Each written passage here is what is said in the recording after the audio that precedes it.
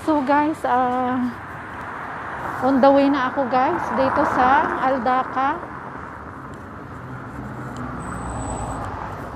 Aldaka Medical Center.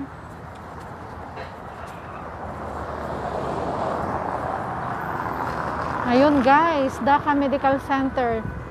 So, ang mangyayari guys, hanapin ko yung pinaka gate niya. Kung saan ang gate nito guys. Kasi nga may ano guys, sarado yung mga daan dahil sa rerouting nila. Dahil sa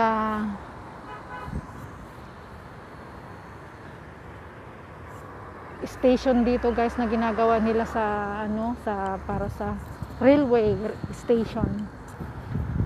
So, abot tanaw ko na guys, yung Dhaka Medical Center. Ayun. Ayun guys. Guys, Dhaka Medical Center. So, see you there guys.